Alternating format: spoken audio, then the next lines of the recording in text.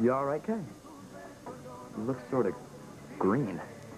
I'm okay, Miguel. Uh, do me a favor, will you? Tell Charity I went to get my camera. I want to get a picture of us together before she leaves.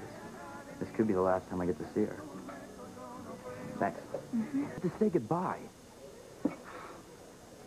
How could you let Charity leave? We were trying to help, Miguel. When Charity realized what time it was, she freaked out. She was desperate to get home to her mother. So Simone and I gave her money for a cab. But why couldn't she have told me? I was only in my bedroom. Did she say anything when she left?